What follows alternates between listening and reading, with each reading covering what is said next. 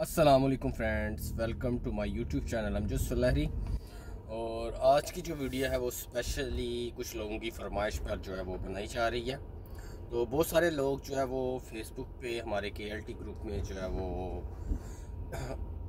पोस्टें वगैरह बहुत ज़्यादा शेयर कर रहे हैं। कुछ जो है वो अपने हक के लिए आवाज़ उठा रहे हैं और कुछ जो लोग हैं वो उनको कह रहे हैं कि आप जो है वो अच्छा नहीं कर रहे या इस तरह नहीं करना चाहिए तो आज उस मामले पे बात होगी और क्या तरीक़ाकार होना चाहिए और किस तरह होना चाहिए या इसका क्या हाल है, उसके बारे में भी थोड़ी बात करेंगे। और मज़ीद, जो इस पर बहस हो सकती है, वो हमें किस तरीके से करनी चाहिए और क्या तरीक़ाकार अपनाना चाहिए, मैं थोड़ा सा गाइडलाइन दूँगा। बाकी अमल आप लोगों ने खुद करना है। तो सबसे पहले तो मैं आप लोगों को 2018 वालों की जो है वो बात बताता हूँ कि उनके साथ क्या हुआ था तो और अभी क्या हुआ उनके साथ। जो 18 वाले लड़के थे, वो तकरीबन 90 80 से 90 लड़के थे जिन्होंने जो है वो ओ e से जो है वो रबता किया था। उनमें से तकरीबन 30 से 40 लड़के ओ e गए थे अपना पासपोर्ट अपडेट करवाने के लिए। तो ओ e ने जो है वो उनके पासपोर्ट पकड़ के नीचे फेंक दिए थे कि हम नहीं करवा सकते, जाएँ जहाँ से होते हैं, वहाँ से करवा लें। तो उन लोगों ने जो है फिर वो अपना फ़ैसला जो है वो अल्लाह की अदालत में छोड़ दिया था कि जो भी होगा वो बेहतर होगा। तो फिर वो लड़कों से जो है वो रबता हुआ। रबता होने के बाद उस पर सर्च की गई कि इसका क्या लाहे अमल हो सकता है। जब सर्च की गई तो उस पर यह पता चला कि अगर ओ e भी चाहे तो ओ e भी इन लड़कों के जो पासपोर्ट है वो अपडेट करवा सकती है। तो रिक्वेस्ट की गई, लेकिन लड़कों की तरफ़ से जो रिक्वेस्ट की गई, उसका कोई, जो है वो काम नहीं आई रिक्वेस्ट तो उन लोगों ने जो है वो अपडेट नहीं किए तो फिर मैंने और हमारे साथ अब्बास भाई हैं, आलम खान साहब हैं हमारे भाई तो हम तीनों ने जो है वो ग्रुप में ऐड हुए उन लड़कों के। तो उन लड़कों के जब ग्रुप में ऐड हुए तो हमने सारी बात सुनी और सारी बात जो है वो उनको फ़ाइल करने की कोशिश की कि आपका जो है पासपोर्ट का जो है वो इजरा में कोई मसला नहीं है। अगर पासपोर्ट एक्सपायर भी है तो इजरा हो सकता है। लेकिन फिर भी उन्होंने रिक्वेस्ट की कि चलें, कोई भी मसला ना हो, लेकिन हमारे पासपोर्ट तो अपडेट किए जाएँ। तो मैंने कहा हाँ ये वैलिड है कि आप लोगों के पासपोर्ट में जो वो अपडेट होने चाहिए। तो उन्होंने कहा कि ओ से तो हमें जो है वो इनकार कर दिया गया और उन्होंने कहा कि आप लोग अपने आप को एक्सपायर समझें, आप लोगों के जो है ना वो कुछ नहीं हो सकता। तो फिर एच आर डी पाकिस्तान में जो पाकिस्तान एच आर डी का नुमाइंदा है, उससे भी बात की गई और जो यहाँ पे एच आर डी का ऑफ़िस है, वहाँ पे भी बात की गई। तो वहाँ पे बात करने के बाद जो है वो, हमें जो है वो सारी सिचुएशन का पता चला कि क्या होना चाहिए और यहाँ पे क्या हो सकता है। और उन्होंने भी कहा कि ये काम ओ e का है और किसी का नहीं। ओ e हमें मेल करे तो हम जो है वो, ये पासपोर्ट यहाँ से अपडेट करवा देंगे। तो मैंने कहा कि वहाँ से तो जो है वो इनकार कर दिया गया सारी जो डिटेल है, वो बताई है मेरे पास कार रिकॉर्डिंग भी पड़ी हुई है, लेकिन ये प्राइवेसी की वजह से मैं शो नहीं कर सकता। तो फिर पाकिस्तान में जो एच आर डी का नुमाइंदा, उसको भी सारी बात बताई। फिर उन्होंने ओ e के साथ मीटिंग की और मीटिंग करने के बाद उन्होंने कहा कि हम इस पर जो है वो हो सकेगा, वो करेंगे। तो यहाँ पे फिर एच में जब मेरी बात हुई तो वहाँ से मैंने कहा कि हम डायरेक्ट क्या आपको डाटा सेंड करें तो आप उन लोगों के पासपोर्ट अपडेट कर सकते हैं। उन्होंने कहा कि पहले जो आप लोगों के पास लिस्ट है ना, वो हमें भेजें, हम वेरीफाई करेंगे कि वाकई ये लोगों के पासपोर्ट जो है, वो एक्सपायर हैं। तो उसके बाद जो है, वो फिर हम आपको बताएँगे। मैंने मेल कर दी, तकरीबन एटी लड़के थे, जिनका डाटा भेजा। उनकी जो है वो मुझे मेल वापस आ गई कि हमने चेक कर लिया है तो आप इनका जो है ना वो पासपोर्ट की कलर कापी जो है वो, यानी कि पासपोर्ट की कापी है जो वो हमें भेज दें। मैंने लड़कों से डाटा कलेक्ट किया, एक दो दिन लगा। मेल दोबारा सेंड की मेल दोबारा सेंड करने के बाद जो है वो एक दो दिन गुजर गया उनका रिप्लाई नहीं आया। मैंने दोबारा, क्योंकि मैंने रिप्लाई में मेल की थी। तो मैंने दोबारा मेल की कि मैंने आपको पासपोर्ट सेंड किए तो आपने उसका जो है वो मुझे जवाब नहीं दिया। फिर दोबारा जवाब आया कि पासपोर्ट जो है वो आपके मिल गए हमें। वो जो है वो हम इसकी जो है ना वो छोरी जल्दी से कर लेंगे मैंने कहा, ठीक हो गया। बाद में फिर, तकरीबन पाँच से दस दिन गुजर गए। मैंने दोबारा कॉल पे बात हुई थी मैंने उनसे पूछा कि मैंने जो डाटा सेंड किया था, उनकी पासपोर्ट का क्या किया? उसने कहा कि हम जो थे वो बिज़ी थे और बिज़ी होने की वजह से जो है वो पासपोर्ट अपडेट नहीं हो सके तो चौदह अक्टूबर तक जो है वो पासपोर्ट सबके अपडेट हो जाएँगे। चौदह अक्टूबर तक लोगों के सबके पासपोर्ट अपडेट होना शुरू हो गए और अल्हम्दुलिल्लाह सबके अपडेट हो गए हैं। वो 86 लड़के थे। उनमें से एक लड़के की आईडी नहीं बन रही थी, उसके पासपोर्ट नंबर का इशू था। उसने जब नए पासपोर्ट पे जो अपनी आईडी बनाई तो उसकी आईडी बन गई। तो वहाँ से भी कंफर्म हो गया कि पासपोर्ट अपडेट हो गया। बस दूसरा ये जब कोरियन कह देते हैं कि हम ये काम कर देंगे तो फिर वो काम कर भी देते हैं। और चौदह तारीख तक उनके वाकई ही पासपोर्ट अपडेट कर दिए गए थे। बाद में जब अठारह तारीख को जो है वो अजरा होने थे, और हमने जो है वो जब पासपोर्ट सेंड किए थे तो उसमें एक लेटर मैंने खुद जो है वो कंपोज करके कोरियन ज़ुबान में, वो भेजा था। उसमें मैंने सारी डिटेल लिखी थी इन लोगों की, कि इन लोगों को कितना अर्सा हो गया, इनके पासपोर्ट एक्सपायर हैं, वो अपडेट किए थे। वो साथ में ये भी लिखा कि इनकी दिसंबर इकतीस तक जो है वो पासपोर्ट एक्सपायर हो रहे हैं, और यानी कि इनका जो जॉब रोस्टर फार्म का मियाद है, वो ख़त्म हो रही है। तो इन लोगों को ज़्यादा प्रायोरिटी दी जाए कि इन लोगों के ज़्यादा से ज़्यादा वीज़े जो वो पाकिस्तान दो हज़ार अठारह वालों के इशू किए जाएँ। तो वो भी रिक्वेस्ट की, फिर मैंने दोबारा ये जो लास्ट वीक गुजरा है यानी ये जो वीक जा रहा है, इसकी मंडे वाले दिन जो है वो मैंने दोबारा मेल की और मेल मैंने दोबारा नहीं कंपोज की। उसमें मैंने दोबारा सारी सिचुएशन जो है वो लिखी कि इन लोगों को जो है वो ज़्यादा से ज़्यादा प्रायोरिटी दी जाए। क्योंकि इन लोगों को तकरीबन चार पाँच साल से ज़्यादा अरसा हो गया और ये एक्सपायर होने वाले हैं। अगर आप लोग इनके अजरा नहीं करते तो ये एक्सपायर हो जाए। मुख्तर बात ये इनमें से वो 55 प्लस लड़कियाँ जिनका अल्हम्दुलिल्लाह अजरा हो गया, जो ये जो पासपोर्ट एक्सपायर वाले लड़के थे, उनका। और 10 से 15 लोग वो हैं जो अभी मेडिएशन में पड़े हुए हैं। तो पीछे रह जाते हैं तकरीबन 10 15 से 20 लड़के जिनका अभी तक ना मेडिएशन हुआ है, ना अजरा हुआ है। इनशाला एडिशनल डेटू में ये जिनका मेडिएशन आ रहा है कुछ का गायब हो जाएगा, कुछ का इजरा हो जाएगा। तो ये भी इनशाला जो है वो क्लियर हो जाएँगे। बाकी अगर कुछ रह भी जाएँगे तो इनशाला दिसंबर में, नवंबर के एंड पे या दिसंबर के महीने में जो है वो दोबारा अजरा आ रहे हैं तो उनमें जो है वो ये क्लियर हो जाएँगे। अभी आ जाते हैं 2020 और 21 वालों के पास। 2020 और 21 वालों की जो मंजूरियाँ ना, वो आप लोगों को पता है कि लेट हुई हैं और लेट होने की जो वजह है वो ओ की तरफ़ से डॉक्यूमेंट्स में मिस्टेक आई थी। कुछ के पासपोर्ट की कलर कापी का मसला था, कुछ की वो जॉब रोस्टर स्कैन का मसला था। कुछ का जो था वो पासपोर्ट एक साल से कम था तो उनका मसला था। तो ये जो है ना, ये सारे मसले मसाइल की वजह से आप लोगों की जो मंजूरी है ना, वो लेट हुई हैं। और ज़ाहिर है, जब एक अदारा वापस डॉक्यूमेंट्स भेजता है तो ओ e भी जो है वो थोड़ा सा टाइम लगा देती है डॉक्यूमेंट्स भेजने में। लेकिन लड़कों को बोल दिया जाता है कि हमने आप लोगों के जो वो डॉक्यूमेंट सेंड कर दिए लेकिन सेंड नहीं भी किए होते पास टाइम तो वो कह देते हैं। लेकिन ज़ाहिर है, वहाँ से अगर सेंड कर भी दिए जाएँ तो एचआरडी में भी थोड़ा सा टाइम लग जाता है।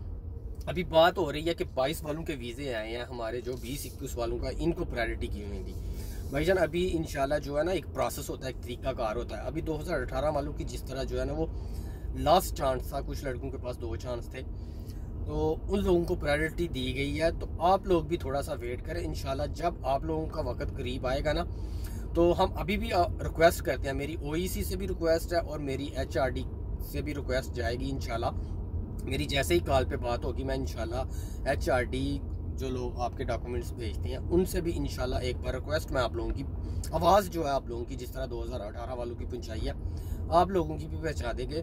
पाकिस्तान में जो एच का नुमाइंदा है, उस तक भी, और जो कोरिया एच का मेन अदारा है, कोरिया में, वहाँ तक भी जो है वो आप लोगों की आवाज़ पहुँचाती जाएगी कि आप लोगों के साथ जो है वो पहले ही एक साल, दो साल बाद मंजूरी हो रही है। तो इनको जो है वो ज़्यादा वेट ना करना पड़े तो इसलिए जो है वो बीस इक्कीस वालों को भी प्रायोरिटी दें। और अठारह उन्नीस वाले जो है वो अलहमदिल्ला क्लियर होने के करीब हैं। वो बेफिक्र हो जाए, इंशाल्लाह वो इसी साल के अंदर अंदर इंशाल्लाह एक्सपायर होने से पहले उम्मीद है कि क्लियर हो जाएँगे सब। तो बीस इक्कीस वालों से भी रिक्वेस्ट है कि आप जो आवाज़ उठा रहे हैं, अपने हक के लिए आवाज़ उठानी चाहिए, लेकिन उसका मुस्बत तरीकाकार अपनाएँ कि अभी आप लोगों की, अभी मंजूरियाँ हो रही हैं, कुछ की होनी है। आप लोगों के पास अभी बहुत ज़्यादा टाइम है। अगर आप लोगों के पास टाइम कम रहता हो तो फिर जो है वो आप लोग आवाज़ उठा सकते हैं। जी, हमारी मंजूरियाँ जो है वो पहले करें। तो अभी तो आप लोगों के पास जो है वो टाइम बहुत ज़्यादा है। अभी तो पहला रोस्टर फार्म है जो वो आप लोगों का एक्सेप्ट होने हुआ है। कुछ का कुछ का अभी रहता है, बहुत सारों का रहता भी है। तो बाकी जो है वो अभी आपके पास ये साल भी है, एक साल और भी है। तो थोड़ा सा वेट करें इनशाला आप लोगों के भी जो है वो वीज़े आएँगे। नेक्स्ट ईयर में जब फरवरी में वीज़े आएँगे तो उसमें 20 और 21 वालों के ही सबसे ज़्यादा आएँगे और 22 वाले भी साथ शामिल होंगे, लेकिन सबके मिक्स आएँगे।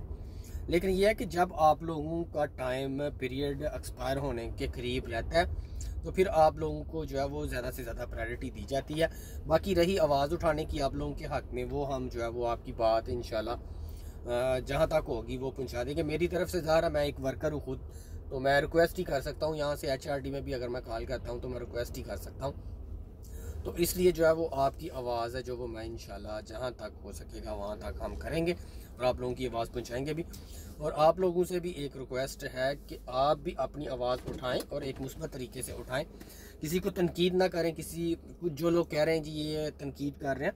हर बंदा अपने राइट पे ठीक है। देखे ना, उन लोगों ने भी पाँच पाँच साल वेट किया 2018 में पास किया एक्सपायर हुए हैं, फिर अभी हर बंदे की बात ठीक है, लेकिन ओ ई सी भी जब आप लोगों को जॉब के लिए अप्लाई करने के वक्त बताता है कि इसकी कोरिया में जॉब की गारंटी नहीं होती, वो भी अपनी जगह पे ठीक है। लेकिन हाँ ओ सी आप लोगों की रिक्वेस्ट फॉरवर्ड कर सकता है एच आर डी में, ये उनके पास ऑथोराइज है। कि वो ये मेल कर दें कि जिस तरह अभी 2018 वालों की मैं एक आम बंदा होकर मेल करके रिक्वेस्ट कर सकता हूँ तो ओ जो एक अदारा है। तो अदारे के पास तो ऑथोराइज ज़्यादा होती हैं और उनकी बात जो है वो ज़्यादा काबिल कबूल होती है किसी भी अदारे को। तो इसलिए जो है वो मेरी रिक्वेस्ट है ओ से अगर कोई भाई इस ओ का ये वीडियो देख रहा हो तो उनसे रिक्वेस्ट है। कि इनकी जो है वो मेल करें आप एच आर डी को कि नेक्स्ट जब अजरा हूँ तो बीस इक्कीस वालों को जो है वो प्रायोरिटी दी जाए। तो इन जो है वो आप लोगों को भी प्रायोरिटी दी जाएगी। साथ में बाईस वालों के भी अगर अजरा हो रहे हैं तो देखें ये रिजक का भी मामला होता है सकता है उनका रिजक आप लोगों से पहले लिखा हो, आपका भी लिखा होगा, लेकिन हो सकता है इसमें कोई बेहतरी हो। लेकिन आप लोग अपने हक के लिए आवाज़ उठाएँ, उठानी चाहिए हर किसी को। लेकिन जो एक तरीका कार है उसी तरीके कार के थ्रू उठाएँ। लेकिन अभी जो है ना वो आप की रिक्वेस्ट ओ ई सी भेजते कि नेक्स्ट इजरा जब होंगे वो बीस इक्कीस वालों को प्रायोरिटी दी जाए।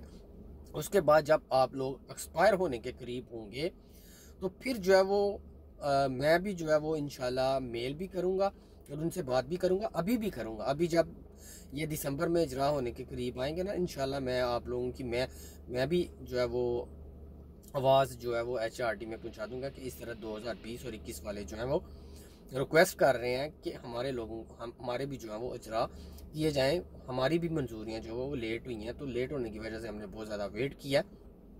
तो आप लोगों से रिक्वेस्ट है कि हमारे जो है अजरा वो किए जाएँ, क्योंकि यहाँ पे रिक्वेस्ट ही की जा सकती है, किसी को फोर्स नहीं किया जा सकता।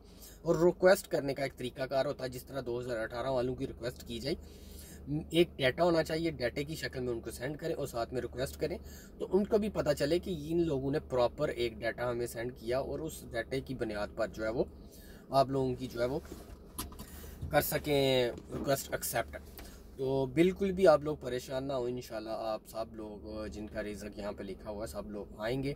आवाज़ उठाएँ, मैं भी आप लोगों के साथ हूँ, बीस और इक्कीस वालों के साथ और बीस अठारह वालों के साथ भी और बाईस वालों के साथ भी। हम तो चाहते हैं कि सब लोग आएँ। लेकिन एक रिक्वेस्ट ये भी है कि जिन लोगों का वीज़ा आ रहा है, वो लोग यहाँ पे आकर कंपनियाँ बहुत ज़्यादा छोड़ रहे हैं। और अभी आप लोगों ने देखा भी होगा कि बहुत ज़्यादा कम जो है वो अजरा हुए हैं।